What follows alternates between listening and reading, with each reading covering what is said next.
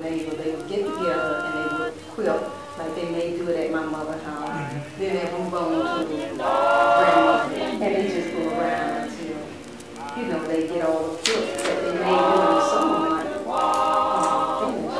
And they only, well, they quilt through the summer too, but uh, mostly in the winter. Because you didn't have to go out in the fields and, you know, gather the crops and, and so. old enough to start going places. Then they started trying to make a, a quilt different because I got to go in the war union to get a little bit better. Before then, everything I just put them together.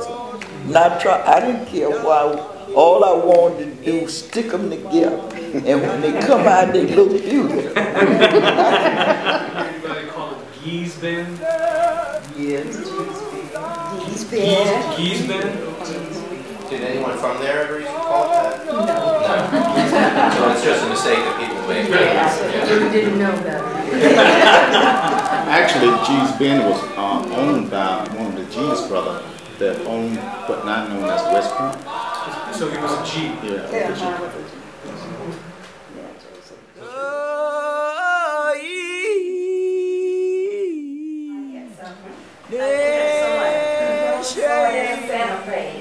I saw it here in Washington, think, or something very similar. So it was a dynamite, to say it. But not to say now, they, they know how to. So they were raised in the house, their grandmother, when grandmother